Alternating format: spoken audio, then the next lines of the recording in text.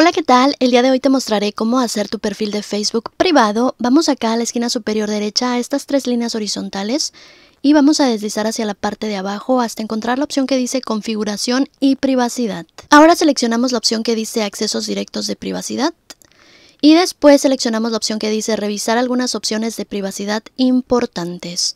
Una vez aquí vemos cinco categorías, vamos a seleccionar la primera que dice quién puede ver lo que compartes. Ok, presionamos en continuar. Y aquí seleccionas qué audiencia o quién quieres que vea por ejemplo, mi correo electrónico, fecha de nacimiento, amigos y personas que sigues. Aquí yo todo lo tengo público, así que voy a presionar sobre la opción que dice público para obtener estas otras opciones y voy a seleccionar solo yo. Ok, haré lo mismo en las demás opciones, solo yo, solo yo. Aquí en la fecha de nacimiento nos dice, consejo, si eliges solo yo para el 7 de junio, tus amigos podrían olvidarse de saludarte, o sea que si haces privada la fecha de nacimiento que tienes en tu Facebook, nadie te va a felicitar ese día, así que tú decides. Quién puede ver las personas y páginas y listas que sigues, solo yo. Siguiente, publicaciones futuras, público, seleccionaré amigos. Regreso. Y historias, selecciono amigos solamente, regreso y así sucesivamente. Acá nos dice limitar el público de publicaciones anteriores. Cambia a amigos la privacidad de las publicaciones anteriores que tenían la configuración público o amigos de amigos. Es posible que las personas etiquetadas en estas publicaciones y sus amigos sigan viéndolas. Esto es para publicaciones antiguas de hace 2, 3, 4 años. Puedes limitar estas publicaciones. Yo seleccionaré limitar Nuevamente me vuelve a preguntar, ¿limitar todo? Estás a punto de limitar el público de todas las publicaciones anteriores. Ok, limitar. Siguiente.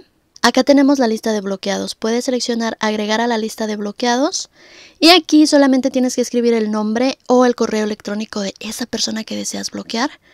Ok, siguiente y listo.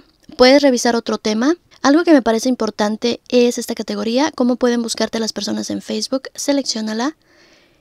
Continúa y aquí decides quién puede enviarte solicitudes de amistad. Por ejemplo, yo tengo seleccionado amigos de amigos. Tú puedes seleccionar todos, pero cualquiera dentro y fuera de Facebook te podrá enviar solicitudes de amistad. Así que para más seguridad, pues selecciona amigos de amigos. Siguiente. Elige quién puede buscarte con tu número de teléfono y dirección de correo electrónico. Número de teléfono, solo yo para que sea privado. Correo electrónico, solo yo.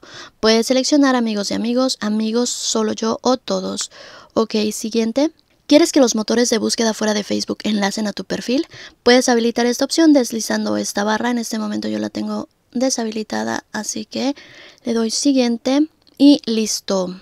Puedes revisar otro tema, pero en mi punto de vista esos son los más importantes. Vamos a regresar acá y vamos a ir acá a la opción que dice ver más opciones de privacidad. Aquí en configuración de privacidad puedes checar todas las opciones que tú tienes elegidas en este momento y si estás satisfecho puedes continuar yendo a tu perfil. En este momento yo voy a ir a mi perfil para darles una sugerencia. Y es que cuando vamos acá a editar nuestro perfil y agregamos por ejemplo detalles voy a agregar aquí algunos detalles. Por ejemplo agrega tu situación sentimental.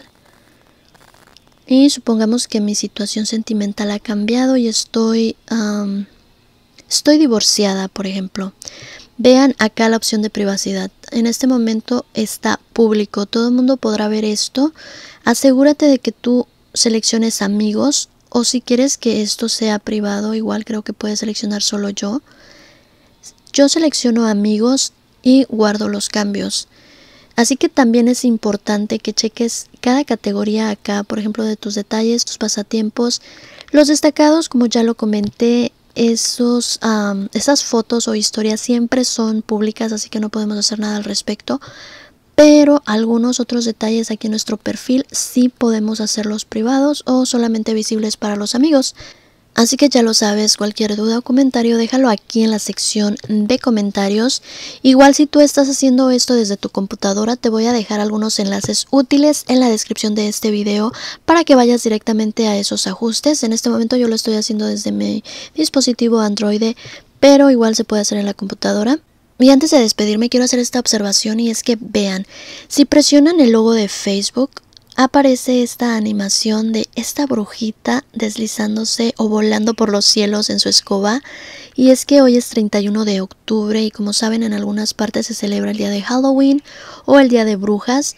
Igual si vuelves a presionar sobre el logo de Facebook te redirige a la página de hashtag Halloween 2020 y aquí aparecen algunas publicaciones populares.